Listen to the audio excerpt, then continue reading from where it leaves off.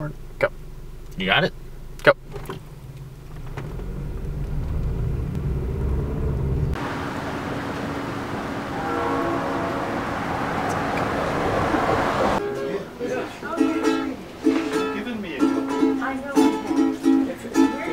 Your cinematographer over here.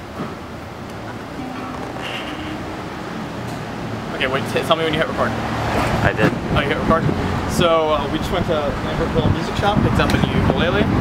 Uh, Lambertville's a really nice place.